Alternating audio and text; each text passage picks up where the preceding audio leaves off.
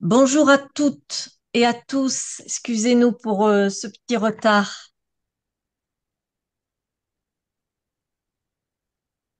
Il y a encore des gens qui sont en train de se connecter. Oui, bonsoir.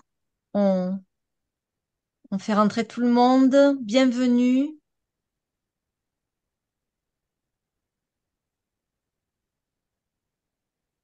Bonjour à, à toutes et à tous. Euh, Nous sommes ravis de vous accueillir au lundi d'Erès avec Marilia Morim à l'occasion de la parution de son livre euh, L'hypermédiatisation de la sexualité féminine quand la transgression devient la norme, préfacé par euh, Denis, Dany Robert Dufour et publié dans la collection Humus, le désir de l'analyste en acte, dirigée par Jean-Pierre Lebrun. Monette Vaken nous fait le plaisir de participer à cette rencontre. Nous allons passer une heure ensemble euh, durant la première partie, Marilia Morim et Monette euh, Vaquin échangeront autour euh, de l'ouvrage. Et ensuite, nous vous donnerons la parole. vous pourrez poser des questions, partager des expériences cliniques. Cette rencontre est enregistrée et sera disponible en replay d'ici quelques jours sur notre site. Mesdames, je vous donne la parole. Bonsoir à tous. Euh, je vous remercie d'être là. Je remercie les éditions RS pour cette opportunité de diffuser mon travail. Est-ce que vous m'entendez? Et je remercie euh, Monette Vaquin d'avoir accepté d'être euh, ma discutante. Alors, je vais faire un résumé des idées principales du livre pour ceux qui n'ont pas encore lu et n'ont pas encore euh, vu. Et après, je passerai la parole à Monette.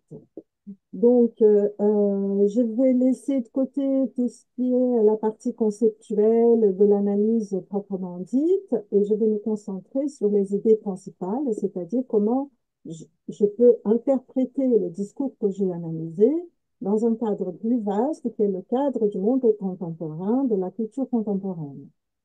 Euh, le point de départ était euh, une couverture de Marie-Claire. Où il s'était marqué. Euh, Qu'est-ce qui se passe dans une fête sadomaso?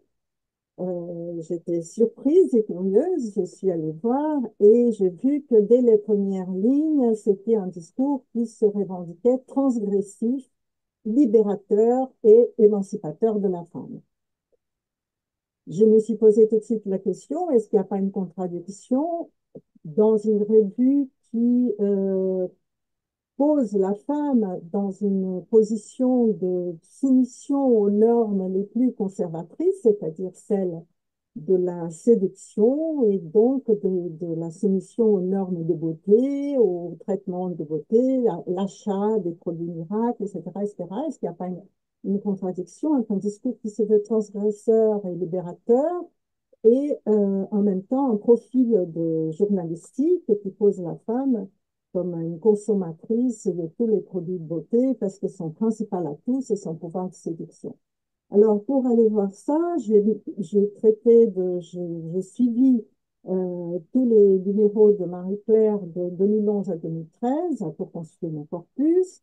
Et je me suis arrêtée là parce que euh, j'avais déjà assez de matière, mais aussi parce que j'ai commencé à voir que euh, ce discours, que j'appelle un discours sexualisé, ou ces reportages sexualisés, euh, on pouvait déjà les, trouver, la trouver euh, dans différents journaux, dans différents magazines, donc c'est devenu quelque chose de courant, ce qui m'a fait comprendre que le discours que j'avais dans le fonctionnement, j'avais identifié dans Marie-Claire, était une sorte de discours matriciel par rapport à ce qui est venu après. Euh, donc, pourquoi? Parce que on va retrouver toutes les composantes que j'ai identifiées dans le discours de Marie-Claire, on va retrouver dans les journaux d'actualité euh, comme Le Monde, etc. Alors, matriciel par rapport à ce qui vient après, et en même temps, par rapport à ce qui vient avant, un condensé ce discours est une sorte de condensé de ce qui vient avant, dans l'origine, c'est-à-dire l'origine du capitalisme. parce que on voit avec Sombart que le sociologue et économiste allemand que euh, le luxe dans son livre s'appelle L'amour, le luxe et le capitalisme, c'est-à-dire que la consommation de produits de luxe de, de, la part de la femme ou pour la femme est au cœur du capitalisme, donc un des moteurs du capitalisme.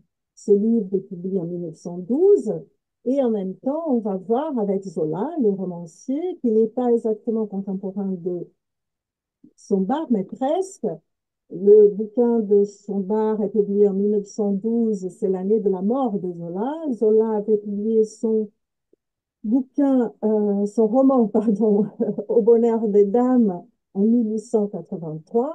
Et dans ce roman, on voit exactement ce que Zola va appeler la rage du chiffon.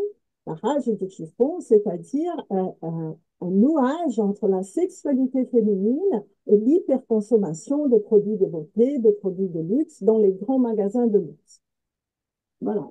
Donc, on découvre que ainsi, il n'y a pas de contradiction. La contradiction que j'avais euh, imaginée au début n'était que superficielle parce que, en fait, ce discours transgressif euh, pose une transgression qui est en réalité une transgression normative. Elle, convention qui crée des nouvelles normes, donc la femme va être soumise à des nouvelles normes. Euh, D'un côté, euh, un niveau, on peut dire que cette dimension normative apparaît dans l'injonction même de ce discours adressé aux femmes, l'injonction de parler. Il faut parler de sa sexualité. Il faut tout dire, il faut tout montrer, il faut tout savoir de sa sexualité, de la sexualité des autres. Or, on est dans un genre journalistique où l'enjeu est un enjeu d'information, donc de savoir. Ce qui va inscrire ce discours exactement dans le dispositif de savoir-pouvoir qu'avait analysé Michel Foucault dans son Histoire de la sexualité, volume 1, dont le sous-titre est justement La volonté de savoir. Rappelons que Foucault est le premier à nous dire, à nous montrer, nous expliquer que nous ne sommes pas sous un régime de pouvoir répressif, bien au contraire, nous sommes sous un régime de pouvoir incitatif. Donc l'incitation à parler de sa sexualité, de tout savoir, de convoquer des spécialistes, de produire des aveux, c'est ce que euh, Foucault va appeler la scientia sexualis, pratiquée dans l'Occident. Or, ce discours qui se veut transgressif, en fait, il pose la norme du tout dire, du tout savoir, du tout montrer pour une jouissance totale, sans limite. À un autre niveau, on va voir aussi que ce discours qui se veut transgressif, il est normatif par la façon dont il traite, dont il approche le corps de la femme, qui découpe un morceau, donc le corps devient une chose, un objet qu'on peut examiner, euh, la, la gravure de Dürer euh, est bien pertinente dans ce sens, quoique dans une autre temporalité. Donc, cette façon de traiter le corps de la femme comme un objet, comme une chose qu'on peut améliorer, qui doit être beau, va créer aussi des idéaux, des normes esthétiques. Par exemple, par rapport, il y a un dossier euh, que j'ai examiné dans ma claire qui s'appelle Aimez-vous votre sexe? Le sexe étant là la partie du corps euh, génital de la femme. Et là, on a la photo du sexe, c'est toute une série de considérations. On apprend, et ça c'est la sociologue Eva Ellis qui nous apprend, qu'il y a maintenant l'idéal de la fontenette. Donc, la fontenette, un idéal de beauté pour le sexe féminin, qui va enchaîner immédiatement, qui va nouer avec le marché des chirurgies esthétiques génitales. Donc, la transgression euh, sexuelle normative se noue avec la transgression de l'hyperconsommation. Et là, euh, on voit par exemple un autre, un autre, de ça, un autre procédé de, de normativation très intéressant, c'est la banalisation. Par exemple, dans les séries qu'on peut appeler les séries coq où on dit, par exemple, dans un dossier, un reportage, pourquoi est-ce qu'on interdit encore ça, nous, les femmes Et donc, les petits freins de, du quotidien, et les petits freins sont Et voilà la série. Euh, déjeuner seul dans un restaurant, demander une augmentation, se payer un homme, ne pas être un couple. Donc, déjeuner seul dans un restaurant est à côté de se payer un homme. Nous sommes dans une même série, où je l'exemple, où tout se vaut. La transgression est du même ordre. C'est le même tabou qu'on doit faire sauter. Bon. Euh, pour conclure, euh, j'ai relevé aussi un discours que j'appelle le discours humanitaire parce que l'hyperconsommation étant euh, convoquer un déchaînement, y compris dans, dans les prix, dans, le, coût de ces produits et de ces services et ces chirurgies, qu'on pourrait avoir un, une certaine culpabilité et que le discours que j'ai appelé humanitaire pourrait aider à empêcher, éviter la culpabilité euh, ce sont tous ces reportages dans les pays pauvres de l'Afrique, le Brésil, avec des femmes misérables. Et, euh, donc euh, là, il y a comme une sorte d'esthétisation de la pauvreté. Et on peut mettre à côté, dans mon bureau, je l'avais séparé, mais j'étais déplacée de mon bureau, donc je n'ai pas maintenant, mais un, un, exemple très frappant où on a deux pages qui s'ouvrent dans le magasin. Donc, dans une page, la photo euh, qui est... Euh, je ne vais pas chercher la personne. Ah, excusez-moi, mais ça marche dans mon bureau. J'arrête une seconde parce que c'est vraiment mieux là-bas.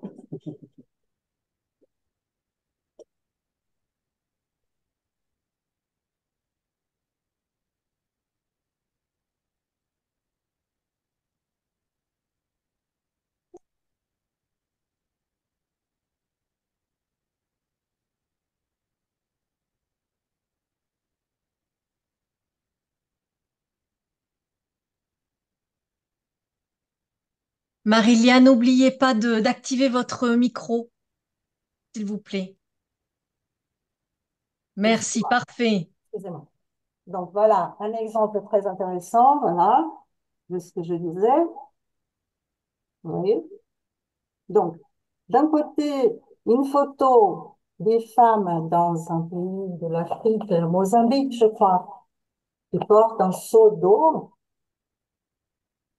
et de l'autre côté, donc quand on ouvre le magazine, une publicité de lunettes qui s'appelle Eyewear. Donc, d'un côté, la grande richesse, à côté, la grande misère, et il y a comme une sorte de délégation de l'inégalité. C'est-à-dire que on peut être à côté, parce qu'il n'y a pas de rapport entre la grande richesse d'un côté et la grande misère de l'autre, il n'y a aucun rapport. Donc, tout va bien. Voilà, donc ça, ce sont les idées principales.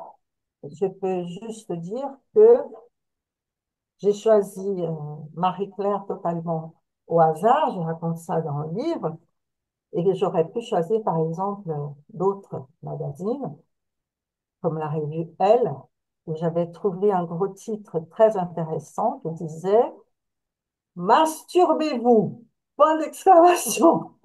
oui, madame. Mais bon, j'ai fini par travailler avec Marie-Claire. Voilà. Voilà un résumé, un gros des idées principales. Chère Marilia, D'abord, je voudrais rendre hommage à ce livre et à quelque chose qui vous est très particulier que relève Dany, Dany Robert Dufour dans la préface à ce livre. Euh, quand je pense à vous, je me dis que vous êtes une sorte d'orfèvre des petits riens. Vous avez une capacité très particulière, là où on passe, on feuillette les pages d'un livre et on passe avec euh, indifférence. À, vous êtes vraiment une lectrice, une sémiologue, à en faire euh, ce que vous nommez après Barthes un, trésor mythologique. Et comme tout trésor mythologique, le vôtre est absolument inépuisable et se prête euh, à des, des trésors de signification. Quand on vous lit, on a l'impression d'avoir euh, sous les yeux un, un microscope de notre, euh, de notre époque, de notre culture. Vous, vous feuilletez un magazine dans une salle d'attente et euh, vous découvrez euh, ce que vous nommez un discours porno chic adressé à un public haut de gamme et vous allez d'une main implacable nous entraîner vers vos conclusions. Euh, on est passé d'un capitalisme patriarcal à un capitalisme libidinal. Ça n'est quand même pas rien comme, euh, comme euh, aventure. À propos de tout ce que vous venez de nous dire rapidement sur le, le style de discours discursif, il y a un mot que vous employez souvent que je, que je trouve très intéressant, c'est le mot ambiguïté. C'est un discours copain, hein, vous le dites. Euh, on est entre copines, on se parle léger, euh, rien n'est grave, euh, on rigole, on fait des coques à l'âne. Dans le sous-texte, le corps dont il est question est un corps indifférencié, morcelé, des organes, jouissance d'organes séparés de toute vie psychique, encore plus de toute vie relationnelle. Est-ce que vous pouvez nous en dire plus sur ce jeu objectivation?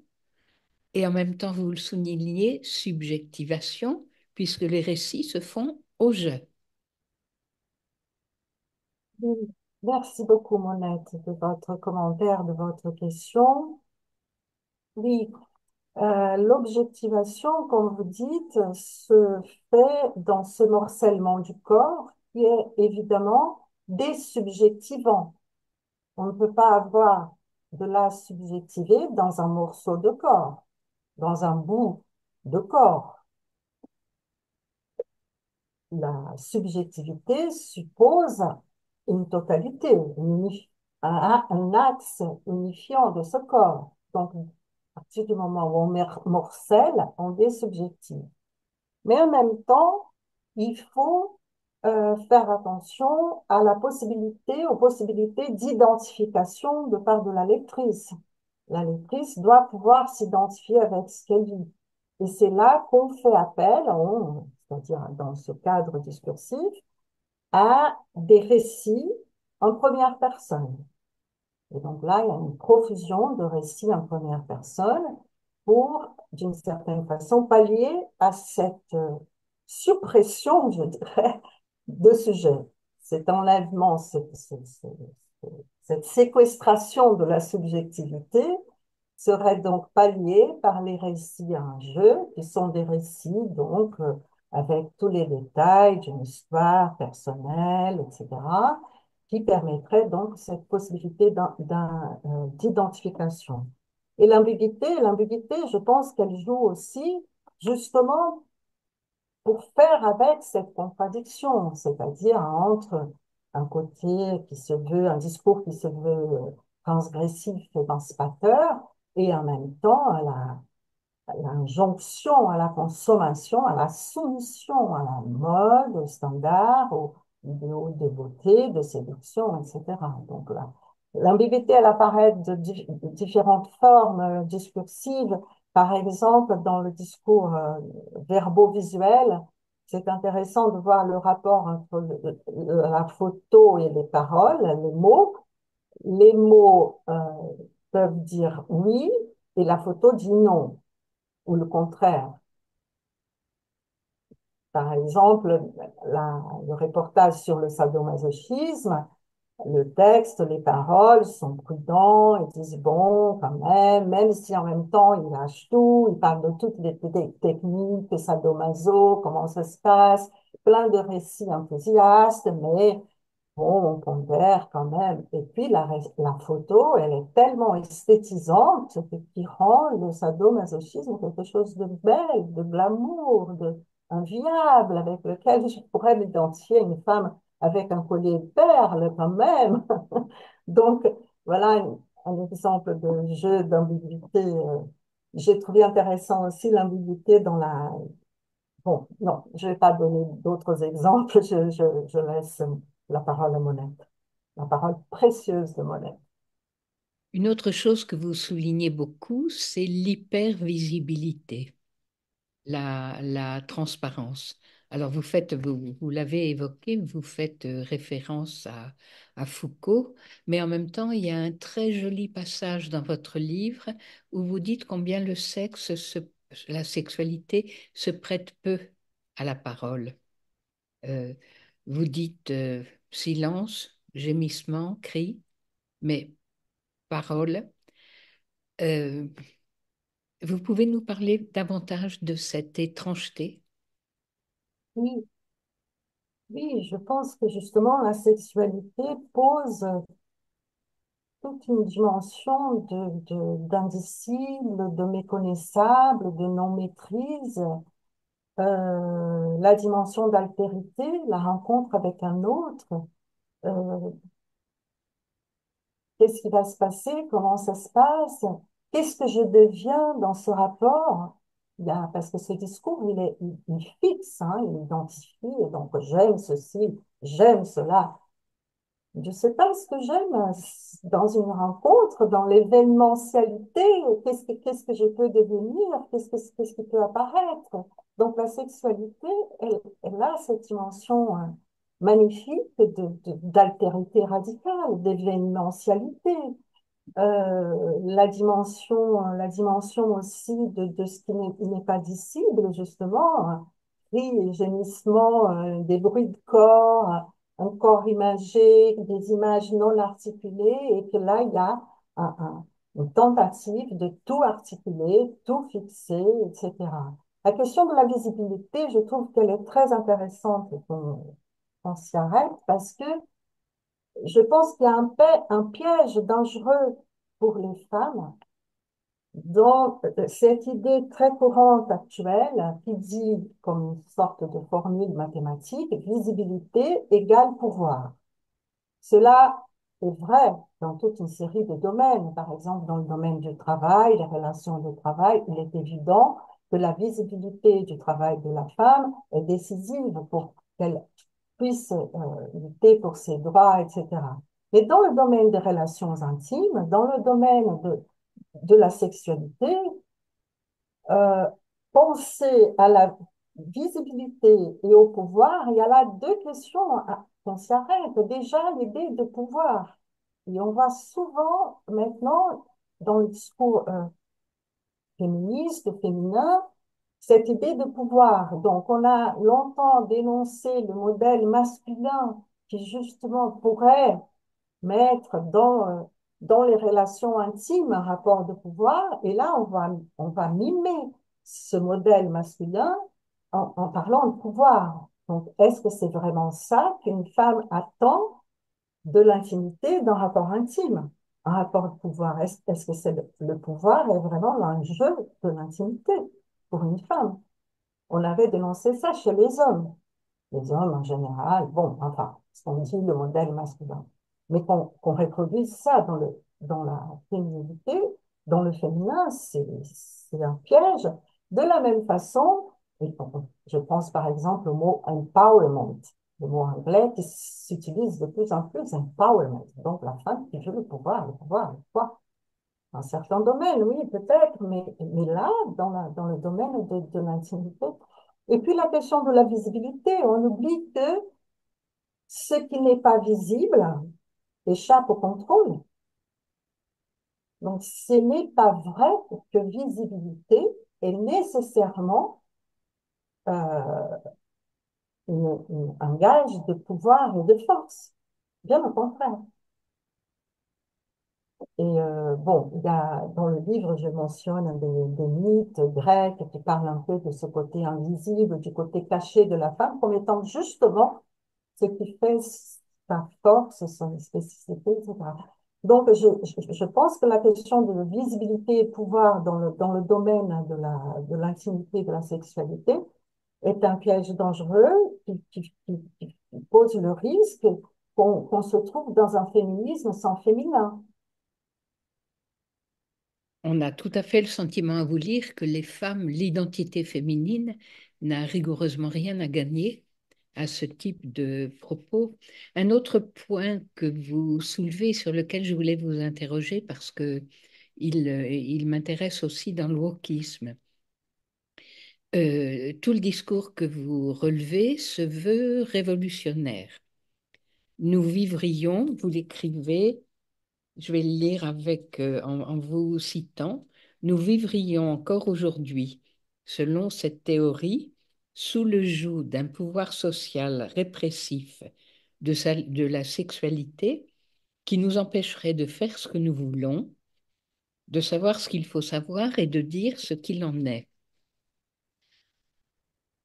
En même temps, euh, vous, avez cité l'injonction masturbez-vous ou jouissez, qui reprend jouissez sans entrave, un autre euh, slogan qui précède depuis enfin de, de 50 ans. Il y a, y a plus un seul bourgeois à choquer.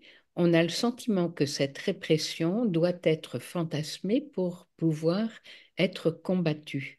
Qu'est-ce que vous pensez de ça? Parce qu'on observe la même dimension dans le wokisme, avec un passé persécutant, euh, uniformément mauvais, euh, qu'il faut, euh, Hum, faut combattre. Oui, cette idée de la Des répression, assignations euh, révolues depuis longtemps. oui, Je crois que Finkielkraut disait on nargue des traditions éteintes, on se moque de préjugés révolus, quelque chose comme ça. oui, oui. Qu'est-ce qu'est-ce qui est à l'œuvre dans cette volonté? Oui, parce que bon, euh, il est, il est évident qu'il faut jamais oublier qu'on est en train de parler de l'Occident et qu'on est en train de parler d'une haute classe moyenne. Oui, Donc là, Oui. parler de répression, c'est vraiment euh, euh, problématique parce que euh, il suffit de regarder le monde autour de nous et d'avoir vécu euh, les années 68 pour savoir que franchement, euh, j'ai l'habitude de dire que on a défoncé toutes les portes de tous les placards déjà dans les années 60. Évidemment, je parle d'une classe sociale spécifique, ça ne vaut pas pour euh, l'ensemble de- des femmes. Je pense bien que euh, les femmes d'une classe sociale plus défavorisée sont souvent soumises à un vrai patriarcat, une vraie répression. Là, les choses se passent autrement.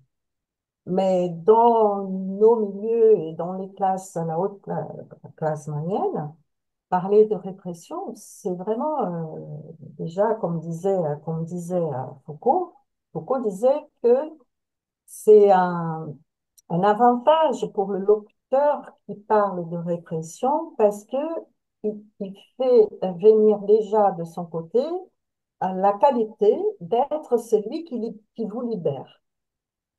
Donc, je pense qu'il y a cette volonté d'occuper une place qui vous libère. Mais vous libère de quoi? Est-ce que les chaînes qui nous attachent dans le monde contemporain sont vraiment celles-là? Il n'y en a pas d'autres qui seraient un peu plus problématiques et auxquelles on devrait s'affronter?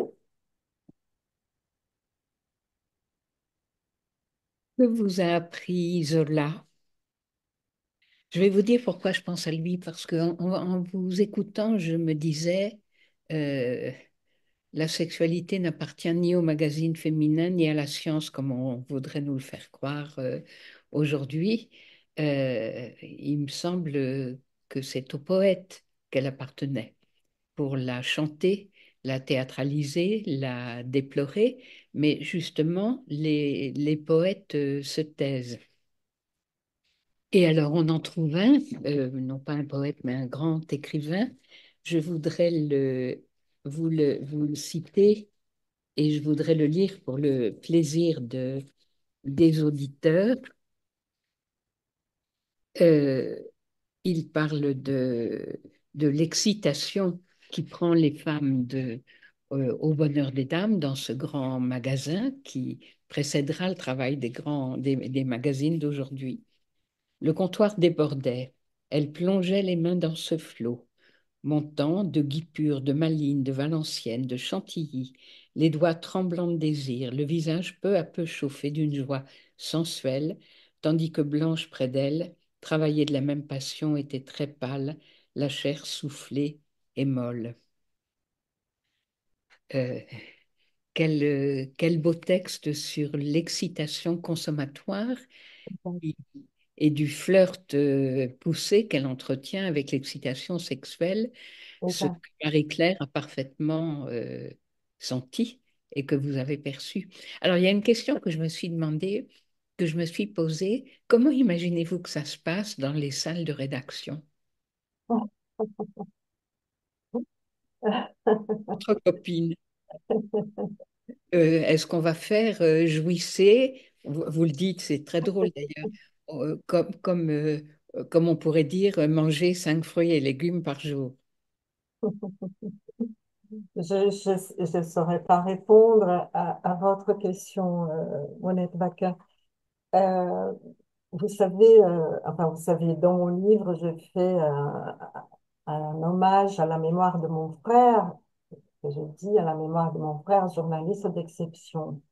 Donc, mon frère étant journaliste, mon père aussi a été journaliste. Donc, j'ai vécu dans, dans, dans ce milieu, euh, de, de famille de journalistes. Donc, j'ai un grand respect pour le journalisme et pour les salles de rédaction. Ça veut dire que euh, j'ai du mal à, imaginer euh, quel est euh, ce montage de, de, de, de... Enfin, moi, j'ai traité la question comme relevant d'une politique éditoriale. Hein? Là, on est donc dans un énonciateur collectif. Je n'ai pas voulu traiter des énonciateurs individuels, les auteurs des reportages, les écrivains, les photographes. Je n'ai pas voulu du tout traiter euh, à ce niveau-là, parce qu'il me semble que ce qui est important du point de vue collectif, c'est une politique éditoriale. Bon, une fois cette politique éditoriale établie, euh, par rapport d'ailleurs à la politique éditoriale, on apprend, il y a un moment, je cite ces travaux qui montrent que les magazines sont devenus des magasins exactement parce qu'on a déjà dans les postes de direction des revues, des magazines, des représentants des grandes marques, de L'Oréal, Dior et autres. Donc, à ce moment-là, comment imaginer cette salle de rédaction euh, qui prend sérieux cette, euh, qui doit prendre au sérieux cette politique euh, éditoriale de façon à ce que euh, la transgression puisse inciter à la l'hyperconsommation, à, à, la mise en beauté des marques, la mise en hôtel, presque, on dirait Zola, des marques. J'ai du mal à imaginer, j'ai du mal à imaginer les sujets qui travaillent là-dedans, comment ils se... Parce que là, je rentrerai à un niveau, justement, euh, que je n'ai pas traité, le niveau euh, individuel, mais le niveau de la politique éditoriale. Euh, et peut-être aussi du fait que j'ai connu des journalistes très sérieux. Et donc, voilà, je ne saurais pas répondre à cette question. Si ce que vous décrivez est un symptôme de l'état du féminin aujourd'hui, euh, qu'en pensez-vous? Vous en avez dit quelques mots en oui, oui. parlant euh, pouvoir, transparence, domination, c'est-à-dire euh, oui, une féminité qui serait identifiée à quoi alors à, un clone homosexuel des, des hommes Oui, oui, on, voit ça souvent, cette, cette, ce mimétisme du modèle féminin. On le voit souvent dans des discours qui se veulent défenseurs de la femme. Et là, c'est là où je parle du risque d'un féminisme sans féminin, sans le féminin.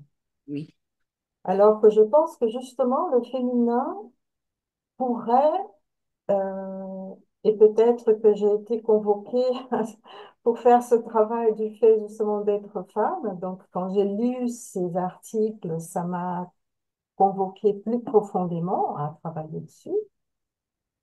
Euh, parce que je pense que justement le féminin, il a tout pour le féminin, et là, un autre féminisme, je dirais, a tout pour euh, faire barrage à la société de la transparence, de la visibilité, qui est en fait la société du contrôle absolu, du contrôle, sauf que c'est pas le contrôle, on pense que c'est pas du contrôle parce que c'est pas un régime totalitaire avec un dictateur, une dictature, etc.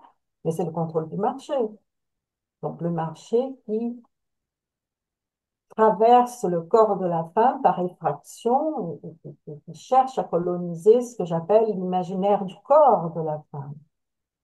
Alors que je pense que justement la femme, dans ce qu'elle a de totalement différent de l'homme, notamment, je parle là, évidemment, je pense à la question de la sexualité. Donc, la sexualité de l'homme étant marquée par la visibilité, je ne vais pas rentrer dans les détails, mais je pense qu'on peut concevoir, imaginer que l'homme est soumis à une injonction qui est celui de la visibilité, ça se voit, la sexualité masculine. La femme, justement, elle n'est pas sous cette injonction. En n'étant pas sous cette injonction, je pense qu'elle a une place privilégiée pour faire travailler cette dimension du non visible, du non visible, de la non-transparence et donc des rapports qui ne peuvent pas euh, se constituer sous le mode du contrôle, sous le mode de la domination. Voilà, donc je pense que le féminin a un rôle décisif dans le monde contemporain à jouer.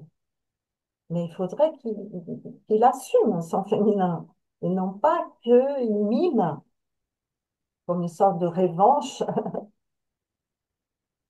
Je voudrais lire à propos de ce que vous venez de dire, le, les quelques dernières lignes de, de votre ouvrage.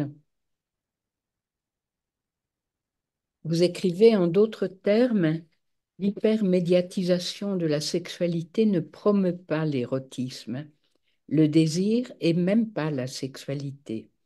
L'objectivation du corps, la surexposition dans des vitrines diverses la normativation et la colonisation de l'imaginaire du corps.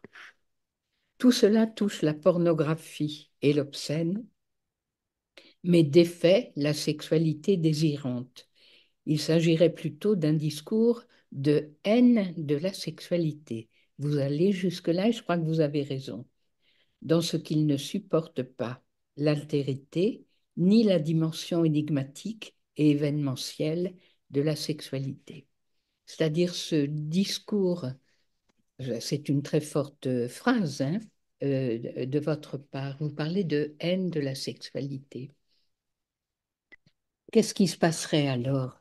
Est-ce que les femmes, enfin c'est pas toutes les femmes naturellement, hein, vous travaillez un, un symptôme, mais auraient manqué euh, l'étape qui les dote de liberté et d'égalité, euh, ce qui est un bien, en, gardant ce que vous venez de nommer, qui appartient au féminin, qu'on croyait éternel, qui, à mon sens, a une fonction, vous venez de le dire en d'autres termes, profondément civilisatrice, euh, mais qui serait aujourd'hui balayée euh, par un mouvement euh, d'une oralité finalement extrêmement primitive, euh, consommatrice de l'altérité. Hein. Mangeons-nous les uns les autres puisque nous nous aimons tant. Ça pourrait être quelque chose comme ça. Oui, c'est ça. Et, je, je rappellerai le la suite de ce que vous venez de lire, qui est exactement la, toute fin de, mon livre, où je fais appel au concept de Lebrun de mère-version. Donc, je pense que ce concept est très riche, justement, pour, pour nous aider à penser qu'est-ce qu'on risque aujourd'hui dans ce ratage du féminin, si on laisse faire ce ratage. du féminin. Euh, Parce qu'on va, on va tomber dans un mode de pouvoir, un mode de perversion qui là serait aussi spécifiquement féminin, mais pervers.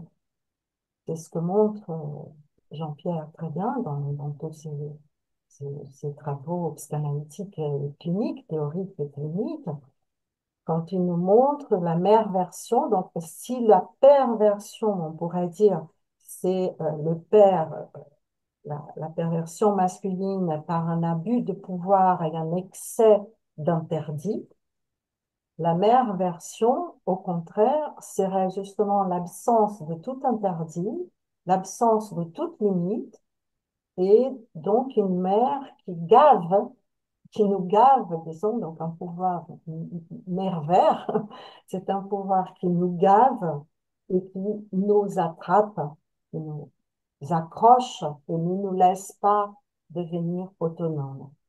Donc, je trouve ce concept très intéressant pour penser le monde contemporain et la question du féminin. Donc, si d'un côté, le féminin peut être justement un, un mode de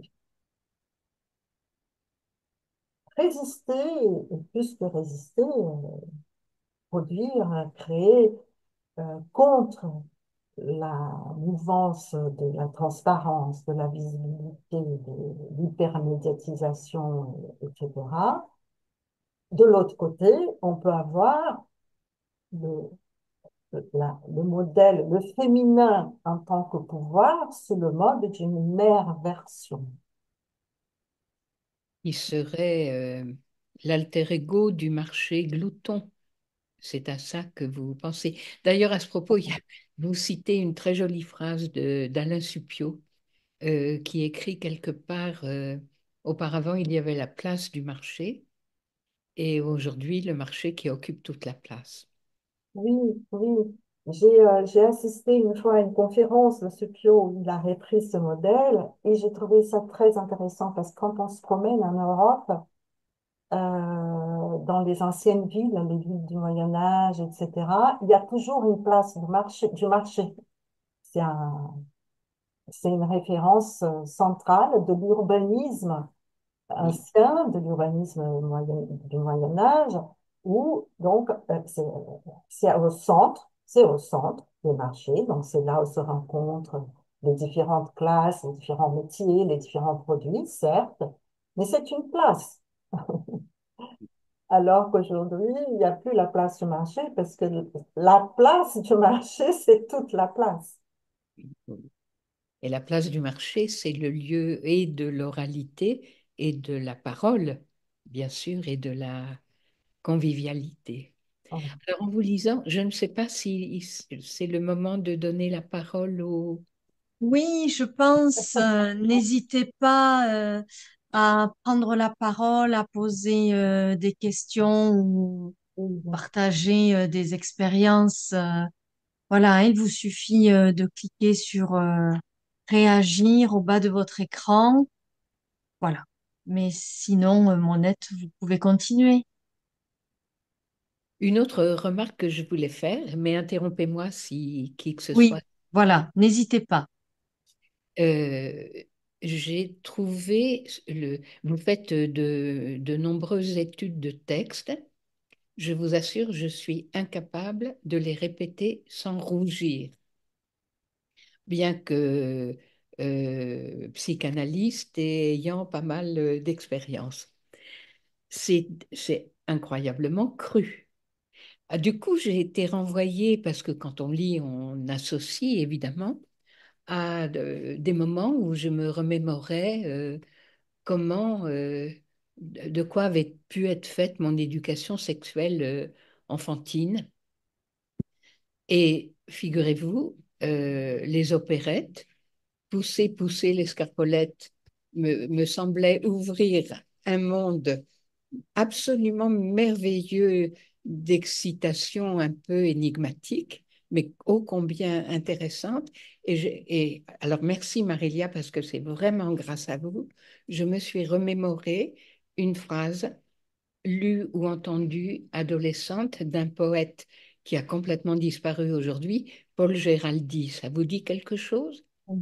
Je suppose que ça ne dit plus rien à qui que ce soit euh, aujourd'hui. C'est alors euh, le, le poème entier, je pourrais pas vous dire, mais c'est un couple qui se retrouve euh, le soir et euh, le mari dit à sa femme, poussez encore un peu la bajeuse. On est loin de la transparence euh, de, de Euh, Marie-Claire. Non, je- Oui, pardon. non, non, non, oui. Qu'est-ce que tout ça est devenu? Vous arrêtez de votre travail en 2013? Oui, j'ai arrêté en 2013 parce que, bon, euh, je pense que c'est maintenant, c'est courant, c'est devenu tellement naturel, courant. Bon, quand on a sur la première page du Le Monde une, un- une petite indication à propos de l'autofellation, bon, j'ai plus besoin de faire aucune analyse, tout est là et euh, voilà. Euh, mais euh, justement, la question du langage cru, euh, j'étais évidemment confrontée à cette question. Quoi faire? Comment, comment faire avec ça? Alors, euh, il m'est venu que, juste, il m'est venu une certaine indignation. Je pense que cette indignation m'a aidé à travailler et à m'affronter avec ça. D'habitude, je, je- c'est pas mon langage, je travaille pas avec ça. Surtout, je n'écris pas comme ça. Comment écrire et traiter un langage si cru, si violent? Donc, je pense que l'indignation m'a aidé à prendre ça en main et me dire, justement, il ne faut pas laisser passer une indignation contre la naturalisation. Donc, ça devient naturel. De la même façon que l'exemple que je vous ai montré des deux photos, l'une à côté de l'autre, avec les jeunes euh, avec les lunettes euh, eyewear, et de l'autre côté, les femmes en Afrique avec le seau d'eau sur la tête, c'est quelque chose de parfaitement naturel. Comment, comment quelqu'un va s'arrêter sur ça? C'est l'ordinaire. On feuillette le magazine, ils sont tous comme ça. hein. Bon, et les journaux maintenant aussi. Donc l'indignation de passe à la naturalisation. Je pense que le travail de l'analyse du discours, quand on situe le discours dans la culture contemporaine, quand on, traite le discours avec une visée large au moment d'interpréter l'analyse, il y a l'analyse, il y a l'interprétation qui situe dans le monde contemporain. Je pense que ce travail est un travail de dénaturalisation de dire non, ce n'est pas naturel, non, je ne vais pas laisser passer ça. Je ne vais pas laisser passer ça, je veux m'arrêter. Alors, qu'est-ce que ça fait d'employer un gros mot comme ça? Quel est l'effet? Donc, je suis allée voir les textes sur le gros mot, je suis allée voir les gros mots dans la littérature, qui est toute autre chose. Le gros mot dans la littérature, c'est d'un autre ordre. Mais dans le journalisme, qu'est-ce que c'est quand ce gros mot apparaît? Quand le langage cru devient le langage ordinaire. Donc, je pensais euh, qu'il y a ça. Il y a dans mon travail une certaine indignation que j'essaye de transformer en ironie et en humour, bien sûr, euh, vis-à-vis de la naturalisation. Il ne faut pas naturaliser, il faut s'arrêter à chaque fois. On s'arrête. Bon, allez, on va réfléchir sur ça. J'ai sincèrement beaucoup, beaucoup d'admiration pour cette euh, entreprise. Et je comprends que, enfin, vous, vous me l'avez appris euh, en aparté il y a quelques jours, mais que, que vous ayez eu besoin de vous appuyer sur votre refus, votre euh, colère. Euh, d'ailleurs, du refus et de la colère, vous dites des choses tout à fait intéressantes dans le, les quelques pages consacrées à Zola dans ce, ce déluge de consommation où tout est disponible, quelqu'un euh, réaffirme son indisponibilité. C'est la femme euh, aimée et désirée par Mouret, le patron du, du, magasin. Elle dit non. Elle dit non. Et vous l'écrivez, vous le communiquez à votre lecteur. Ce faisant, euh, ben, elle ouvre le champ, elle maintient ouvert le champ du désir. Exact. Oui. Euh, bravo. Hum. Merci, bravo Zola, parce que j'ai j'ai trouvé remarquable. Et là, on- ce que je disais, c'était la littérature. La littérature comme, un- comme l'art en général, donc le journalisme ne peut pas être comparé. L'art, c'est un travail sur le langage. Dans le cas du roman, le langage du roman. Comment il nous restitue par ce travail du langage, Zola, la résistance de Denise. Elle dit non, jusqu'à l'avant-dernière page, le lecteur est obligé à attendre, à différer, ça diffère, ça diffère. Ça, c'est le parcours du désir. Différer, c'est le parcours du désir. Ça m'a Il y a Monsieur Jean Or- Orms qui souhaite euh, prendre la parole. Alors, c'est madame. Voilà, ben c'est madame. Bienvenue. Bonsoir, bonsoir Marilia. Bonsoir Frédéric. Ici le marais Poitevin. Alors voilà, une question. Qu'aurait dit le marquis de Sade de toutes tes analyses? De cette littérature. et de cette littérature, oui. Ah, bienvenue. Alors, je ne suis pas une spécialiste de Sade. J'ai très peu de lecture de Sade parce que j'ai jamais pu supporter lire les textes de Sade. Mais d'une certaine façon, je pense que euh, le côté insupportable qu'a toujours été pour moi les textes de Sade, ce qui a fait que j'ai lu très très peu, je retrouve ce côté, un- un- un- cette dimension de l'insupportable dans ce, discours que j'analyse. Parce que ce langage cru, violent, je trouvais qu'il y a là une violence quand je parle de l'effraction du marché dans l'intime, dans l'imaginaire du corps. C'est vraiment, je, voudrais restituer la violence d'une certaine façon ce côté aussi insupportable. C'est pourquoi je disais que sans l'indignation, je ne serais pas arrivée. Parce a un moment on euh, n'en peut plus, on n'en peut plus. C'est pourquoi aussi que j'ai arrêté. Bon, maintenant, je vais travailler sur d'autres choses. Mission accomplie parce que c'est insupportable. Et là, je pense qu'il y a un rapport avec l'écriture de Sade, justement. Merci Marilia. Euh, on, on va clôturer cette rencontre parce qu'on doit libérer Monette Vaquin. Merci beaucoup Monette Vaquin euh, d'avoir euh, euh, échangé avec Marilia Mori. Merci à tous et toutes d'avoir participé à cette rencontre. Je vous rappelle que le livre de Marilia Amorim est disponible en librairie.